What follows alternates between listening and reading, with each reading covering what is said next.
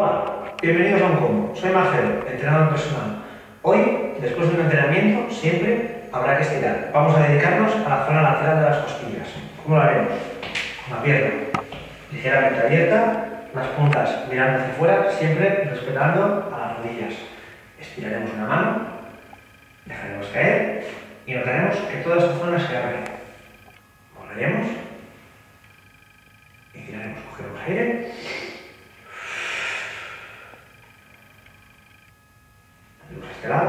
Un movimiento muy importante, todo el movimiento del hombro. Que tenemos aquí, no es lo mismo hacer esto que estirar. Esta es la parte más importante. Cuando desplazamos todo el hombro hacia afuera y estiran toda la zona de las costillas.